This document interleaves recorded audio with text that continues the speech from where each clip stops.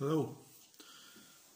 Today we're going to look at another paper here. We're going to look at Friday, the 8th of November 2019.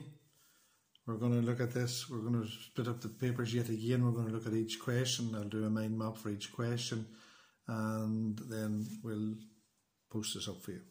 So let's just look at the first one again. The usual things here. This will be an hour long paper. It'll take us a lot longer than an hour to do this, but again, takes time to learn. So just recap, November 19, higher tier. And the first question is on pressure. So let's do a quick recap on pressure through a mind map. So, and again, we'll teach enough for this one question. So I'll just put this question and set it over here. We'll just do a quick mind map for pressure. Again, you can use this mind map for uh, revision. You can do whatever you like with it, but again, that's up to you. So it takes time to study. So we're going to look at pressure. Again, if you looked at the last set of videos, we had one on pressure as well, but this is a lot of this will be the same. But again, it's good revision. So pressure, things like atmospheric pressure, blood pressure, uh, tire pressure. These are all the sort of things for pressure. So again measured in newtons per meter squared, newtons per meter squared. You see the way that's the same as that.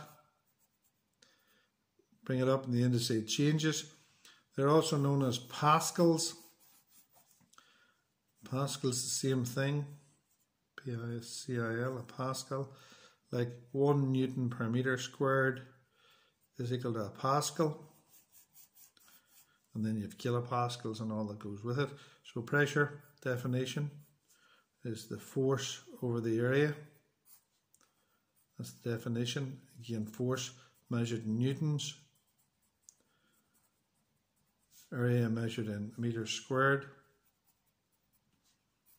And a couple of simple relationships.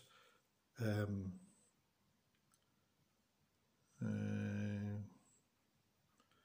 What's the relationship between pressure in newtons per meter squared and force? Well, they are directly proportional, so it goes through the origin like that. Again, the area here is constant. What's the link between pressure, newtons per meter squared, and area measured in meter squared? Well, it's inversely proportional. So let's just look at this. So as the area gets bigger, the pressure gets smaller. As the area gets bigger, the pressure gets smaller. You can see that. That's an inversely proportional. So P is proportional to 1 over A and P is proportional to F. They're directly proportional. So that's more or less it. Um, is there anything else we need here mm, to do this question?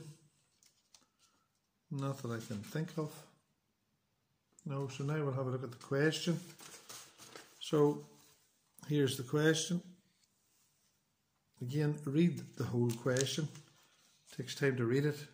Don't scan it, read it. There's a difference in the two.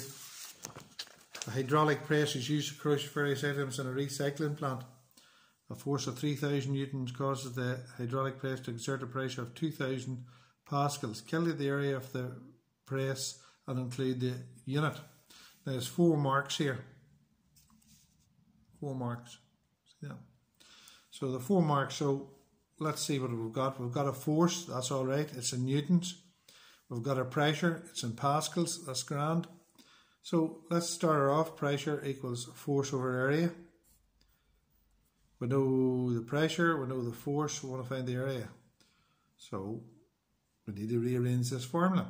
So try 12 is equal to 12 over 2 is equal to 6.